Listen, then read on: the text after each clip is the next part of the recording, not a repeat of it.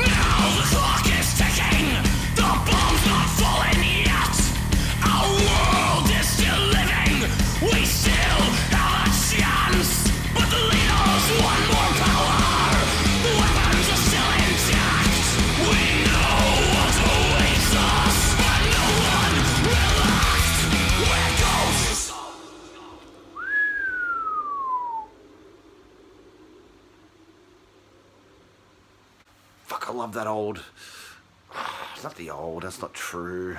It's fucking cool that there's still bands out there that are that are flying the the thrash um, flag. You know, thrash is fucking cool. Like, you know, I like a lot of brutal shit.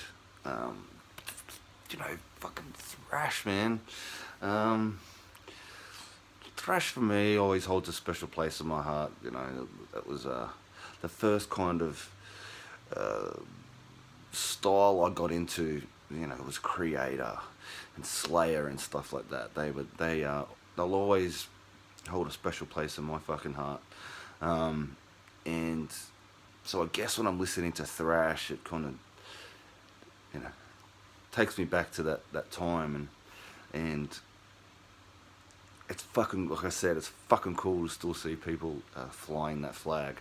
Um, so Warbringer was was a uh, was fucking intense. I, I, I, really fucking enjoyed that start to finish.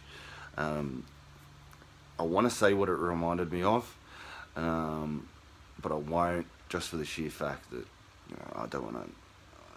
I don't want to put things into fucking into genres. I don't like doing that shit, but um yeah, we already have, I suppose, labeling them thrash, but you know, tell me different.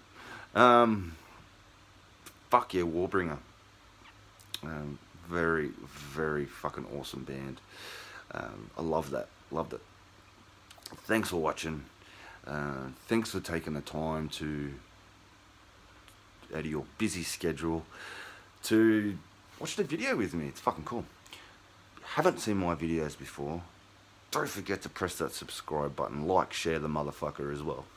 Um, so yeah, till next video, which is coming up very soon, we'll see you then. Till then, stay electric.